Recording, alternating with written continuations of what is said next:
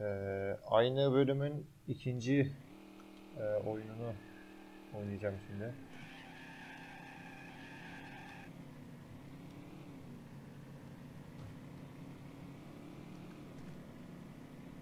Bu bölüm biraz daha zor olacak bence.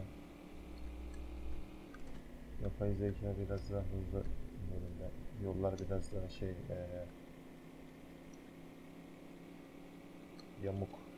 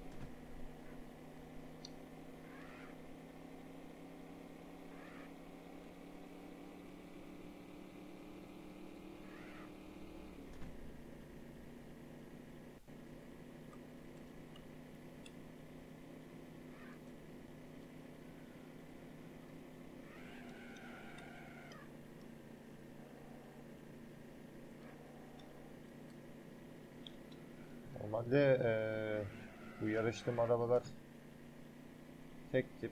Bir de bu bunlar çok yavaş. O yüzden pek de kasmıyorum. Hızlı gitmek için falan. Yollar zaten engebeli. Eee, Şimdi çarpıp bir yere eee, aracı yani batırma riski var. Gerçi araç kendi kendine düzeliyor da o düzelene kadar yani bayağı vakit geçiyor. O anda rakipler sizi geçebiliyor.